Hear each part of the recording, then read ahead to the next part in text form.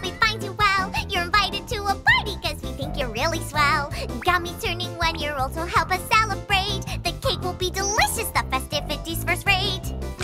There will be games and dancing, pop for apples, cut a rug. And when the party's over, we'll gather round for a group hug. No need to bring a gift, being there will be enough. Birthdays mean having fun with friends, not getting lots of stuff.